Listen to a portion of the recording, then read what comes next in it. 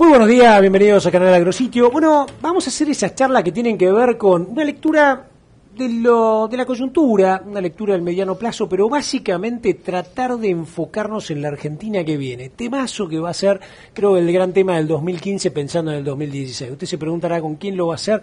Pues lo vamos a hacer con Gustavo Oliverio, coordinador de proyecto de la Fundación Producir Conservando, ingeniero agrónomo, alguien que estuvo en la función pública, es productor, es asesor compone un poco todo esto como para poder eh, transmitirle a usted alguna idea.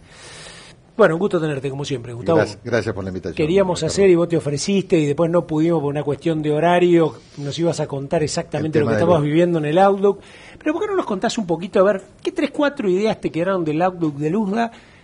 Por ahí de lo que a lo mejor es coyuntura o este año, pero básicamente lo que ellos ven de lo que va a pasar en el mundo. Bueno, mira, eh, eh, el Outlook es, algo bastante especial porque, porque está enfocado más a Estados Unidos que a, todo lo que es, salvo, salvo la estimación de, proyección al 2024, que eso involucra toda la producción mundial, el Outlook está más orientado a, a, mercado interno americano. Pero la realidad es que yo lo dividiría en dos cosas. El corto plazo, tanto en Estados Unidos como en el resto de la comunidad agrícola mundial, está un poquito contagiado de un mundo que hoy tiene stocks, eh, de un mundo que no necesariamente está hablando de, crecer en la agricultura de, esta campaña. De hecho, Estados Unidos va a bajar algo maíz, va a bajar algo soja. En fin, se están reacomodando las en función de las expectativas de precios y de resultados económicos y todo el mundo está mirando, salvo un inconveniente climático en la siembra americana que arranca a partir de dentro de 10, 12, 15 días en el sur y el cinturón maicero a partir de fin de abril o mediados de abril, eh, salvo algún inconveniente que atrase las siembras, bueno, va a ser un mercado de, precios, digamos, algo inferior al del año pasado.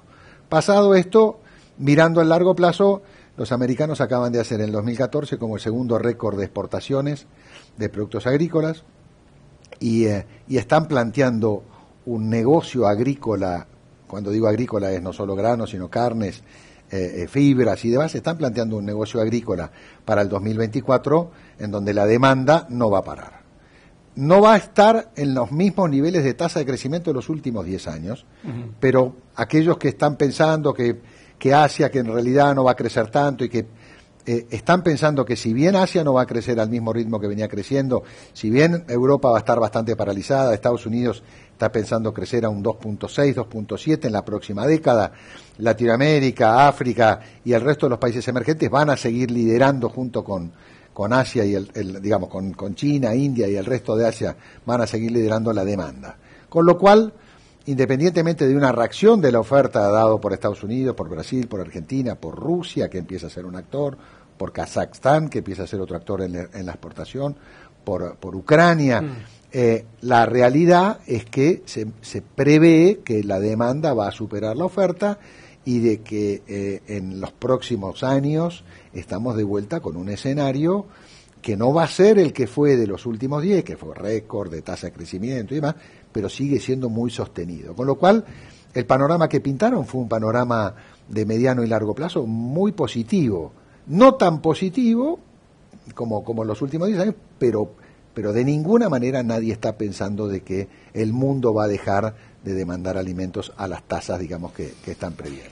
¿Qué dicen ellos o qué ven, si bien por ahí está más enfocado en granos, ¿no? Pero que ven con el tema de carnes, ¿no? Porque todo el mundo cuando hablas con muchos de nuestros amigos dice, no, carne, la demanda va a seguir firme. Carne, de pollo, récord de, demanda, carne de cerdo sigue creciendo y carne vacuna también sigue creciendo y, uh, y son un poquito las las estrellas, digamos así, porque son proteínas de alta calidad, proteínas de origen animal, que vos sabés que el consumo de alimentos arranca por hidrato de carbono, sigue por proteínas vegetales y después va a proteínas animales a medida que el PBI per cápita crece, con lo cual están descontando que la tendencia del consumo de carnes, de todas las carnes, sigue creciente y están descontando también que todos los países que van a, ser oferentes en los mercados de carne van a tener, eh, eh, digamos, eh, demanda de sus productos muy sostenida para los próximos años.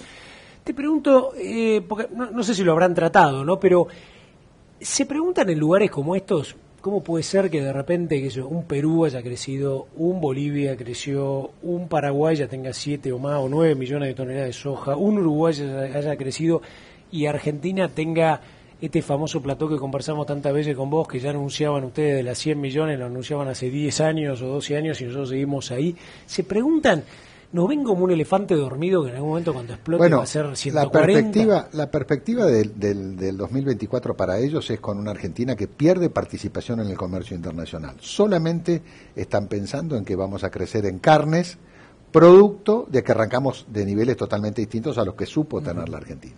Lo cual de alguna forma, y lo dicen expresamente en el informe del, del al 2024, expresamente dicen que es producto de las políticas de los últimos 10 años. O sea, que no se basa en que el 24, al, 2024 vamos a seguir haciendo la misma macana. Están basando, no, están basando que el, el mundo que compite con Argentina va a seguir creciendo a tasas mayores que la Argentina. Entonces la Argentina va a seguir creciendo, pero el mundo va a crecer más, porque los actores de, de Europa del Este que estaban dormidos y que estaban eh, ahí en un rincón esperando a ver cuándo aparecían, ya aparecieron.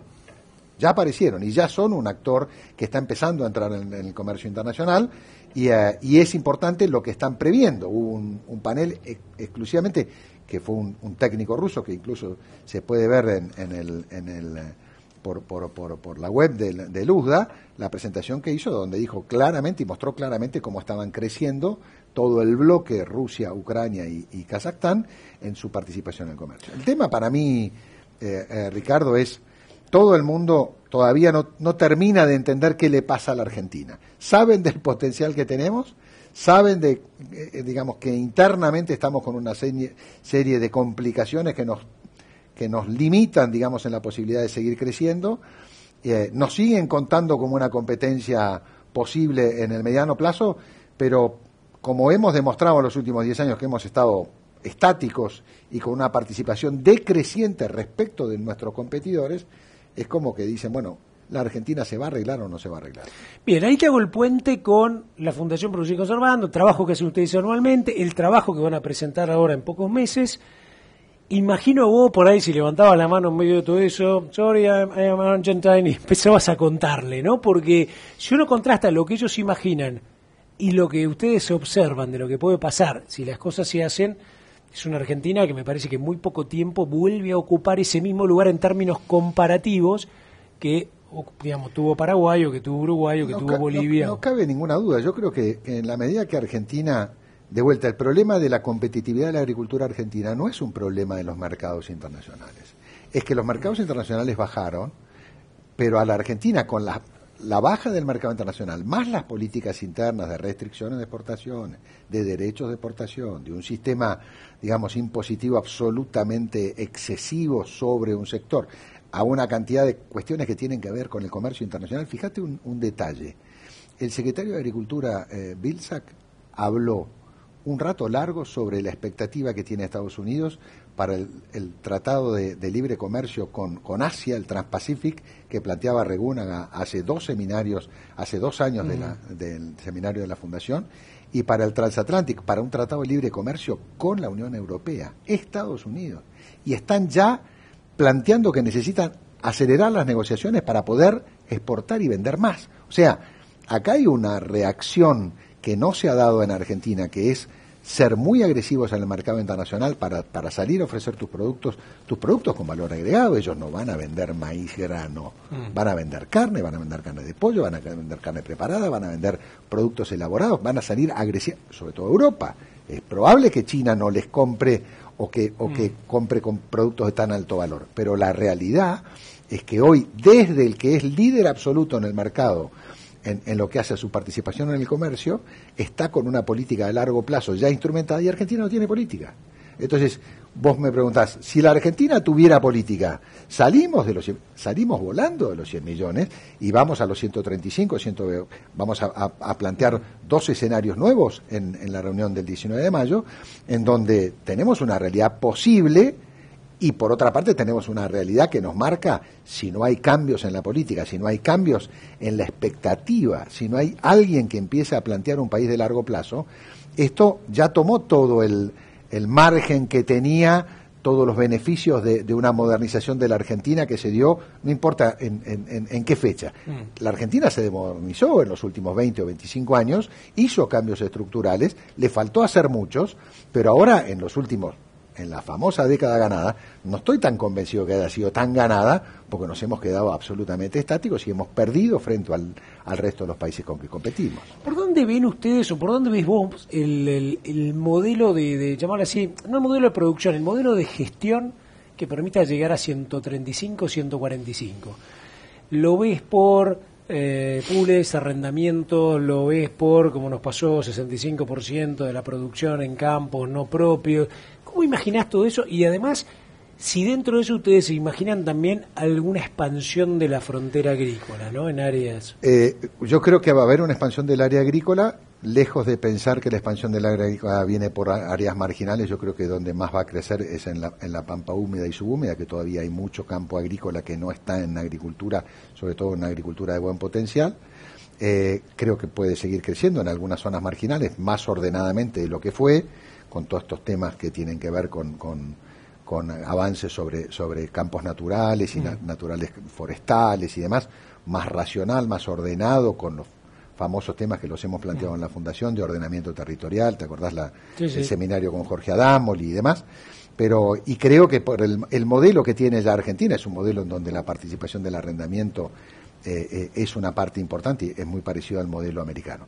Lo que está claro es que la Argentina no puede arrancar con ningún modelo si no se ordena desde el punto de vista macro, si no se ordena desde el punto de vista de un tipo de cambio que sea razonable y equilibrado, si no se ordena desde el punto de vista fiscal, si no se ordena desde el punto de vista de las restricciones a las exportaciones, si no se ordena en el resto de las mm. cosas, en la infraestructura, lo hemos hablado muchas veces con vos, estamos igual o peor que en los últimos cinco años, venimos retrocediendo. Entonces, todos estos cambios son cambios de corto plazo que la semana que viene yo digo, eh, eh, eh, toco este botón y, cambió en la Argentina. Es una, es una Argentina que tiene que entender que se ha consumido un tiempo en donde utilizó, digamos, modernizaciones pasadas que hoy ya no tiene que, que, consumir más porque no hay, no hay más que consumir y necesita hechos concretos para poder plantear de largo plazo y a partir de un planteo de largo plazo de seriedad, de estabilidad, de, reglas de juego claras, aquel que va a invertir, estamos hablando de, 35 millones de hectáreas posibles, o 36 millones de hectáreas posibles, o 42 millones de hectáreas posibles, como estamos pensando en la Fundación para el 2025, pero que eso requiere estar pensando en inversiones mega millonarias en dólares en un país que, que todavía no sabemos qué rumbo quiere ¿Y en cuánto estamos? 33 sin sumar lo que sería trigo soja, 32, 32, 33. Y ustedes, y ustedes están haciendo una estimación de que podríamos estar en 35, porque 2 millones de hectáreas más. En su momento hablamos de 38 y, y, y, vamos a ver los números en, en el seminario, no me quiero anticipar a eso, pero la realidad es que potencialmente los suelos, y vuelvo a insistir, eh, donde más vamos a crecer no es en el Chaco, en Formós, ahí podremos crecer. Donde más todavía tenemos margen de crecimiento es en la zona eh, pampeana, húmeda, subhúmeda, sobre todo la subhúmeda. Hay todavía muchas tierras agrícolas que pueden entrar en agricultura y que están en planteos de ganadería semi intensivos o semi-extensivos, llamémoslo como sea. No estoy hablando de la depresión del salado y los malos suelos agrícolas, estoy hablando de suelos con potencial agrícola eh, en donde se puede, se puede, pero de vuelta tiene que haber un margen y tiene que haber un, marco eh, eh, general de los negocios en, que no han sido el marco de los últimos años. Cuando uno mira un poco la composición de cultivos, uno dice, bueno, a ver, si hablamos de 135, 140 millones y pensamos en los típicos seis cultivos que conforman las 100 millones, eh, y vos siempre lo has dicho, esto iría mucho por el crecimiento, a lo mejor algún crecimiento rendimiento unitario por ahí en maíz, no sé, más fósforo, un poco más de tecnología, de soja, perdón, pero no mucho más. Pero ves mucho de, en vez de un 24, a lo mejor un 34 36 de un maíz y a lo mejor 4 o 5 millones de toneladas más de, trigo. De sin duda, cambia, cambia la relación, la famosa relación mm. cereales oleaginosas, eh, debería cambiar y yo creo que va a cambiar cambia, eh, digamos, la soja siempre va a seguir siendo un componente importante, pero yo creo que la soja ya llegó a un techo si fuéramos eh, eh, pensantes y estuviéramos planificando el mediano y largo plazo, no puede crecer a la misma tasa que creció en los últimos 10 años. Yo creo que se va a planchar, estaremos en siempre 19, 20. Probablemente nunca menos de 55, 58, 60 millones de toneladas de soja, pero de las 120, 130 que son posibles en la Argentina, no podemos seguir pensando en 11, 12, 15 de trigo o 25, 27 de maíz. Tenemos que pensar en 35 o 40 de maíz, tenemos que pensar en... En su momento se planteó en el año, en el año 2002 una Argentina que iba a producir 19, 20 millones de toneladas de trigo y que íbamos a exportar 10 millones de toneladas a Brasil. Estamos hablando del año de hace 17 años. Nunca pudimos llegar ni a 7, creo. Nunca, nunca no, en, la realidad, entonces eh, nos marca la, diferencia de lo que fue eh, la demanda. Hoy tenemos un Brasil que está prácticamente con el arancel no común suspendido y con un mercado que lo hemos perdido y que está comprando trigo americano, con un Mercosur vigente. Te agarro justamente, te, te llevaba el tema de, de, la gramínea, porque yo me imaginaba un poco esto de los mares de maíz o los mares de sorgo, más los subproductos. Entonces, ¿Ustedes estiman ahí que pueda haber de repente mucho más agregación de valor local pensando en un feedlot, pensando en chancho, pensando en No hay posibilidades de incorporar gramíneas en el caso puntuales de las de las de verano si no hay eh, agregado valor local. O sea, creo que la transformación en carnes, transformación cuando digo carnes es todas las carnes. Mm. Transformación en leche, la molienda húmeda, la molienda seca, las exportaciones de productos elaborados a partir de molienda y demás, tienen un papel muy poco relevante en Argentina. Argentina ha exportado menos carne que, que Uruguay. Sí, y que Paraguay. Y que Paraguay. Entonces, estamos en una situación de, mm. de, de, punto de partida tan pobre que cualquier cosa que empecemos a plantear de vuelta con una Argentina que piensa en el mediano plazo, y ahí eh, eh, me parece que hay que, hay que, hay que pasar un mensaje a, a los políticos. La realidad es que si hoy no se piensa en un país y se, se, muestra claramente que se va a pensar en un país de mediano y largo plazo, estamos discutiendo la próxima semana si saco los ROES o pongo o saco las retenciones para el trigo o el aumento o la bajo en la soja, algo que es de cortísimo plazo. Y hoy la Argentina necesita una, una, baranda de contención de cuál es el país agropecuario y agroindustrial que estamos pensando para los próximos 10 años, no para los próximos 4 y hay que ponerse de acuerdo en cuál es el país de los próximos 10 años. Ojalá todos se pusieran de acuerdo y hubiera 10 puntos comunes para todos, que son innegociables, que están, que están de alguna forma todos de acuerdo en que el, país que tiene que, digamos, eh, eh, tenemos que caminar hacia, hacia un determinado lugar, no podemos seguir discutiendo la de corto y viendo cómo la pago y solamente eso eh, como para pensar en, en, una nueva etapa productiva. Ustedes, más allá también del corto plazo, ¿no? Digo por el precio del petróleo hoy. ¿Ustedes ven también el tema de, biocombustibles como una como algo, digamos, porque en su momento, bueno, fue todo un boom, después llegamos a un techo, después todas las políticas internas hicieron que fuera para atrás y después, bueno, cayó el precio del petróleo, hizo un desbarajuste infernal. Pero hubo mucha gente que, que, que se motivó no solo invertir en plantas de, biodiesel, que por ahí con, poca guita lo hacíamos vos y yo, digamos, pero no, pero además de bioetanol, eso. ¿Vos ves también eso y ves a la Argentina en un rol fuerte? Yo creo, yo creo que, que los, los biocombustibles tuvieron una época de oro que fue los últimos 8 o 10 años, producto del fenomenal crecimiento del uso del etanol de maíz básicamente y de biodiesel en el caso de Europa.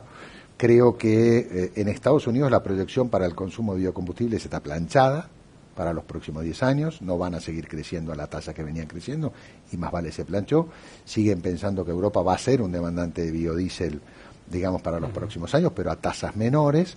Y, eh, y en Argentina lo que pasa es que de alguna forma esta variabilidad y el cambio de las reglas del juego desalentó a muchos de los, de los inversores genuinos. No nos, olviden, no nos olvidemos que muchos de los inversores eh, pagaron esas plantas con los diferenciales que tenían de, de retenciones, con lo cual la inversión genuina en realidad fue una parte de quienes arriesgaron capital y otra parte fue de la cesión de, la diferencia de, retenciones del productor. Pero, de vuelta, lo que está planteando hoy el mundo es que la demanda de, biocombustibles va a seguir, no va a seguir creciendo a la tasa que venía.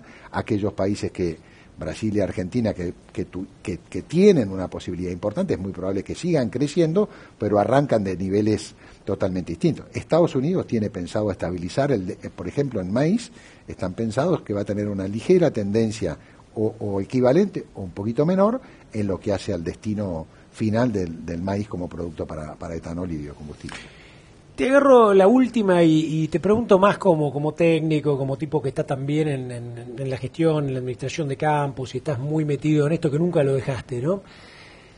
¿Qué dice la gente con la cual está productora, con la cual estás asociado, con las cuales asesorás? Porque más allá de la malaria que nos venimos bancando los últimos tres años, más la caída de precios y todo, hay gente que está como sacando la nariz y dice, bueno, escucha los candidatos, se da cuenta que cualquiera que venga, incluso hasta que venga con un poquito de, olfato, de, digamos, que venga algún rasgo todavía frente para la victoria, igualmente acá ya lo que viene no va a poder seguir.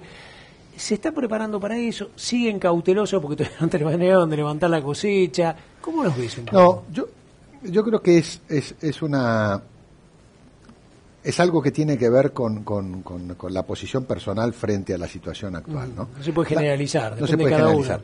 A mí me da la sensación de que hay un enorme anhelo de que la Argentina pueda, por primera vez en muchísimo tiempo, poder fijar una estrategia de país, como lo hizo Chile hace 30 años en donde se animó a fijar una estrategia de país, se arrancaron con el salmón y siguieron con la fruta y generaron valor agregado y, se tomaron un trabajo enorme en diseñar cómo se iba a insertar Chile en el mundo y cómo iban a través del cobre y de todas las cosas que han hecho a poder hacerlo.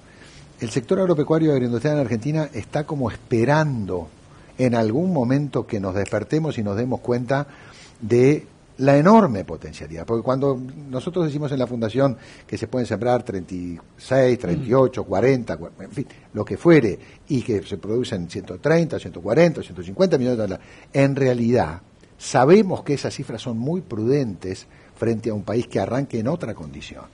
Y entonces, la sensación que hay es, está por un lado aquel que apuesta a largo plazo y dice, yo de este negocio no me voy a ir, en este negocio voy a seguir, en este negocio lo vengo haciendo hace 20 años y no me ha ido mal, ha habido una revalorización de activos, en fin, independientemente de que ahora el precio de la tierra haya bajado y las dificultades del caso y la política fiscal y todo. Pero la realidad es mi negocio y este negocio en el mundo tiene futuro. Entonces, me parece que hay una visión optimista. Lo que hay es un cierto cansancio mm. que habiendo tenido una década, que hubo una oportunidad inédita para la Argentina, no la supimos aprovechar, al contrario, nos caímos respecto a nuestros competidores. Y hoy países mucho más chicos y mucho menos relevantes, que no tenían la marca argentina, carne argentina, por ejemplo, hoy son mucho más relevantes en el comercio internacional de carne que, lo que somos nosotros. Nosotros hoy estamos de alguna forma con una cuota de incumplimiento de contratos que no se pudieron llevar adelante producto de las políticas internas de restricciones de exportaciones. Entonces, eh, la gente yo creo que está con el anhelo de que en algún momento escuche de la política argentina y de los políticos en Argentina un planteo serio de país de largo plazo, en donde se pueda de alguna forma consensuar entre todos los actores que están, digamos, posibles de, ser candidatos y posibles de, de, dirigir el país en los próximos años, que fijen una Argentina común para todos y que después los detalles puedan tener una participación y puedan tener una negociación más partidista pero el país que queremos no lo podemos discutir. Eh, eh, eh, no puede ser un país que va a vender chips y autos o, soja y, carne. Pues, debería ser todo, pero con una estrategia en función de realmente qué capacidad tenemos, qué competitividad tenemos, en dónde somos más fuertes, en dónde somos más débiles y cuáles son las cosas que tenemos que hacer para los próximos años. Si no nos podemos poner de acuerdo entre todos en eso y decir nuestro norte está acá, es un sector que de vuelta va a seguir como digo yo, vegetando, viendo cómo se acomoda la ola y ya hago un poquito menos de maíz y hago un poquito menos de trigo porque me parece que no voy a, los roes sí los van a sacar, pero no sé si la y no sé si llegan y podamos construir una cosa un poquito más de largo plazo. Eh, hay una palabra por ahí para sintetizar esto que es este visión. ¿no? Yo creo que uno lo que no tiene que perder es la visión. La visión es aquello que está más allá de la coyuntura, del corto, del medio, incluso del largo plazo. Y yo creo que esta nota tiene que ver con eso con tener una visión, con imaginar, con soñar, pero con los pies en la tierra, porque cuando yo le preguntaba eh, recién a Gustavo, 33 millones tenemos hoy, sí, pero vamos a tener 35, incluso llegó a decirme 40, ¿no? Y seguramente si nos sentamos y vemos puntualmente deben estar las 40 millones y el momento en el cual hay que, hay que llegar a 40 millones de hectáreas.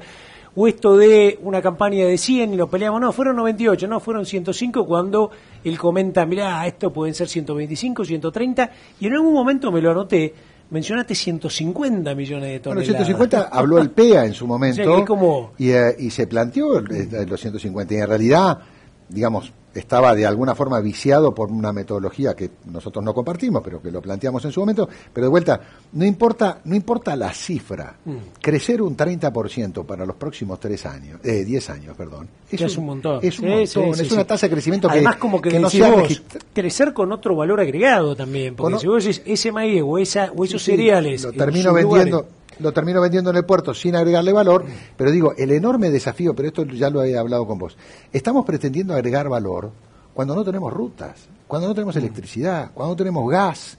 Hay empresas que se han querido instalar en el interior y vos conocés algunas que han tenido limitaciones de, de- de acceso a la energía para poder agregar valor. Entonces, estamos diciendo por la ventana del, del- del público, agreguemos valor y no vendamos materias primas, y por la ventana, por la otra ventana del que necesita agregar valor, no tiene las- la, la infraestructura y las herramientas y las posibilidades, porque las, las inversiones de agregado de valor no son invertir 500 dólares por hectárea en una campaña, son inversiones realmente muy importantes porque necesitan escala, porque necesitan empresas de, digamos, de peso internacional o empresas asociadas nacionales que inviertan mucho dinero, pero para eso necesitan un largo plazo previsible, un largo plazo que de alguna forma, como decís, les permita soñar que en un país serio estemos pensando en el largo plazo y, y que, y que de alguna forma esos negocios se puedan empezar a orientar al largo plazo.